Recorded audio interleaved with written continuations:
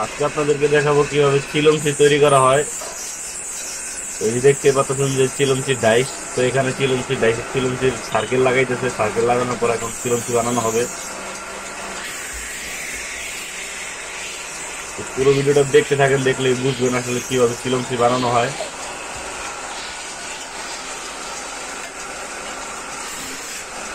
এটা হচ্ছে মাথাটার আগে ভাইঙা নিল, যাতে মালটা নষ্ট না হয়, তো তার কারণে আর কি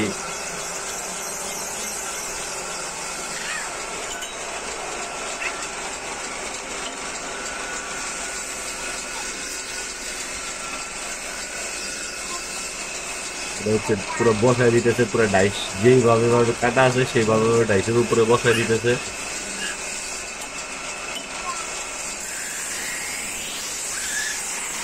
দেখেন কীভাবে বসায়।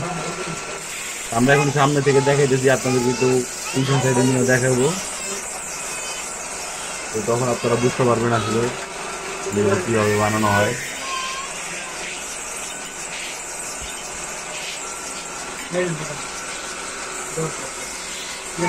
তো এই সাইডে তো চলেন, আমরা একটু সামনে থেকে দেখাই, আপনি পিছন থেকে আপনাদের একটু দেখাই। ওই সাইডে তো যে হচ্ছে এখানে ডানা ঢুকে এটার আউটটা ভাঙছে। ভাঙার পরে যে সাবান লাগাইতেছে, দেখতে পাচ্ছেন যে সাবানের টুকরো এটা চারটে টুকরো করছে।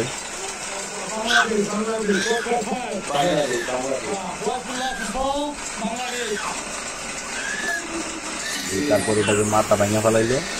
তারপর এটাকে ধরে এখন টান দিবে। এক কাঠ বড় করে দেবে। যেটুকু যায় আর কি।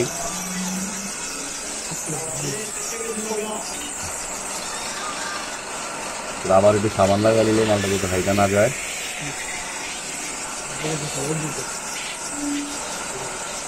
দেখতে পাচ্ছেন।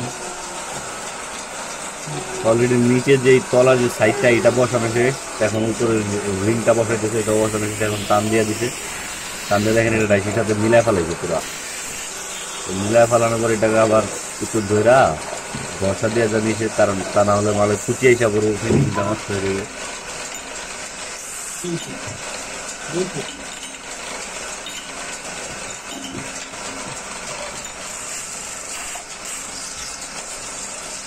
মোড়াই করা শেষ তো চলেন, আমরা দেখি আসলে চিকেন পিঠা কেমন হইল।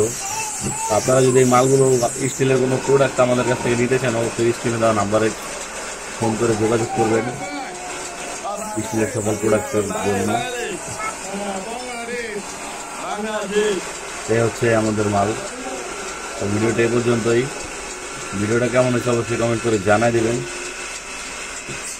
আর আমার চ্যানেল নতুন হয়ে থাকলে অবশ্যই চ্যানেলটা সাবস্ক্রাইব করে রাখবেন। Vamos lá, fala aí.